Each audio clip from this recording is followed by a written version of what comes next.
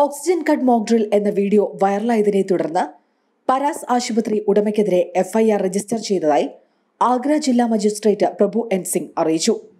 ജില്ലാ ഭരണകൂടത്തിന്റെ ഉത്തരവിന്റെ അടിസ്ഥാനത്തിൽ രോഗികളെ മറ്റ് ആശുപത്രിയിലേക്ക് മാറ്റി ആശുപത്രി പൂട്ടി സീൽ ചെയ്തു. ആശുപത്രിയുടെ ലൈസൻസ് റദ്ദാക്കും. അത് സംബന്ധിച്ച നോട്ടീസ് ആശുപത്രി അധികൃതർക്ക് നൽകിയിട്ടുണ്ട് എന്നാണ് സിംഗ് അറിയിച്ചത്. ആശുപത്രി അധികൃതരുടെ വിശദീകരണത്തിന് ശേഷം തുടർ നടപടികൾ സ്വീകരിക്കുമെന്നും അദ്ദേഹം വ്യക്തമാക്കി.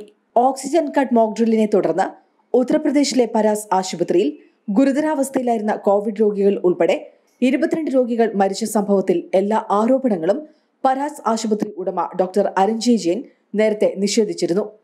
ആഗ്ര ജില്ലാ മജിസ്ട്രേറ്റ് പ്രഭു എൻ സിംഗും ആരോപണം നിഷേധിക്കുകയും സംഭവത്തിൽ അന്വേഷണം നടക്കുകയാണെന്നും അറിയിച്ച് രംഗത്തെത്തുകയും ചെയ്തിരുന്നു.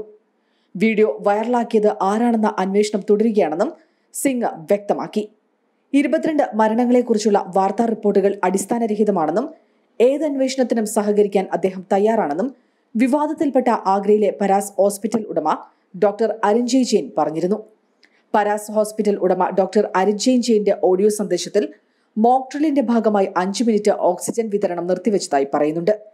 രാവിലെ അഞ്ച് മിനിറ്റ് നേരത്തേക്ക് ഓക്സിജൻ നൽകുന്നത് നിർത്തിവെച്ച് നടത്തിയ മോക്ക് ഡ്രില്ലിനിടെയാണ് ഇരുപത്തിരണ്ട് രോഗികൾ മരിച്ചതെന്നാണ് ഉടമയുടെ വെളിപ്പെടുത്തൽ. ആശുപത്രിയിൽ ഓക്സിജൻ ക്ഷാമം നേരിടുന്നതായുള്ള ഉടമയുടെ അവകാശവാദത്തിനിടെയാണ് വിവാദ സംഭാഷണം. കോവിഡ് വ്യാപനം അതിരൂക്ഷമായി നേരിടുന്ന ഏപ്രിൽ മാസം ഇരുപത്തിയേഴിന് ഓക്സിജൻ മോക്ഡ്രിൽ നടത്തി എന്ന ആഗ്ര സ്വകാര്യ ആശുപത്രിയുടെ സംഭാഷണമാണ് പുറത്തുവന്നത് സംഭവം വിവാദമായതോടെ ഉത്തർപ്രദേശ് സർക്കാർ അന്വേഷണത്തിന് ഉത്തരവിട്ടു. വീഡിയോയിൽ ഡോക്ടർ ജെയിനെ കാണാൻ സാധിക്കുന്നില്ല. ഓഡിയോ മാത്രമാണ് കേൾക്കാൻ സാധിക്കുന്നത്. അന്ന് ഓക്സിജന്റെ കുറവുണ്ടായിരുന്നു എന്ന് പറയുന്നു. ആശുപത്രി അധികൃതർ രോഗികളെ മറ്റേതെങ്കിലും ആശുപത്രിയിലേക്ക് കൊണ്ടുപോകാൻ ബന്ധുക്കളോട് ആവശ്യപ്പെട്ടുവെങ്കിലും ആരും തയ്യാറായില്ല.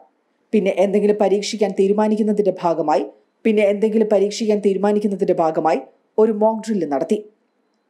ആശുപത്രി ജീവനക്കാരോട് അഞ്ച് മിനിറ്റ് ഓക്സിജൻ നിർത്തിവെക്കാൻ ആവശ്യപ്പെട്ടു. അതുവഴി ആരാണ് മരിക്കുക ആരാണ് അതിജീവിക്കുക എന്ന് തങ്ങൾക്ക് മനസ്സിലാകും. രാവിലെ ഏഴ് മണിക്കാണ് മോക്ക് ഡ്രിൽ നടത്തിയത്. മോക്ക് ഡ്രില്ലിനെ കുറിച്ച് ആർക്കും അറിവുണ്ടായിരുന്നില്ല എന്നും അദ്ദേഹത്തിന്റെ ഓഡിയോ സന്ദേശത്തിൽ പറയുന്നു.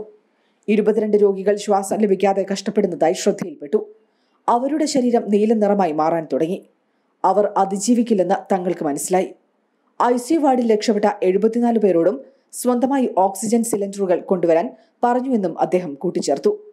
ഗുരുതര രോഗികളെ കണ്ടെത്തി അവർക്ക് കൂടുതൽ പരിചരണം ലഭ്യമാകുന്നതിനു വേണ്ടിയാണ് മോക്ഡ്രിൽ നടത്തിയതെന്നും തന്റെ വാക്കുകൾ തെറ്റായി വ്യാഖ്യാനിക്കപ്പെടുകയായിരുന്നുവെന്നും വീഡിയോ വൻതോതിൽ പ്രചരിച്ചതിനെ തുടർന്ന് അരുൺ ജെയിൻ വിശദീകരണവുമായി രംഗത്തെത്തുകയും ചെയ്തു.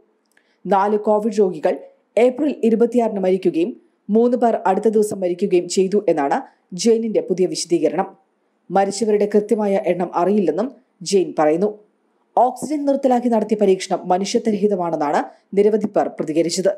സംഭവത്തിൽ അന്വേഷണത്തിനായി കമ്മിറ്റിയെ നിയോഗിച്ചതായി Agra chief medical officer doctor R C Pandey അറിയിച്ചിരുന്നു. കൂടുതൽ വാർത്തകൾക്കായി ഞങ്ങളുടെ വെബ്സൈറ്റായ Malayalam dot Samayam dot com സന്ദർശിക്കുക. കൂടുതൽ വീഡിയോകൾക്കായി ഞങ്ങളുടെ യൂട്യൂബ് ചാനൽ സബ്സ്ക്രൈബ് ചെയ്യുക. ഇത് സമയം മലയാളം ഫ്രം ടൈംസ് ഇന്റർനെറ്റ്